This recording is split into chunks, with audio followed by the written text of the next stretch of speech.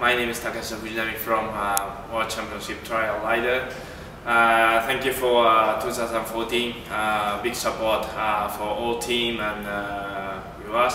Uh, thank you very much. Now coming to 2015, uh, good condition and I'm very happy to stay in Honda team again. Please follow us uh, HondaRacingCorporation.com from now. So many, many, many information from here. So Merry Christmas and uh, Happy New Year.